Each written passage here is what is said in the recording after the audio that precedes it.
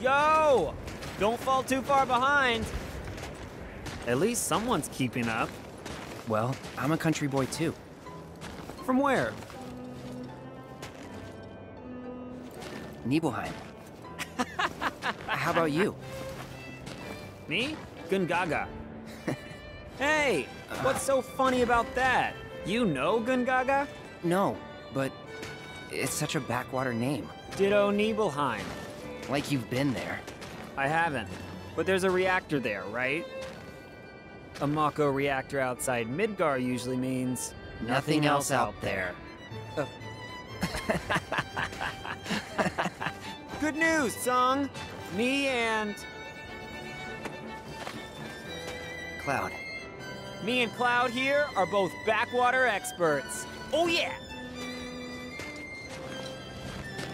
Good. Carry on then.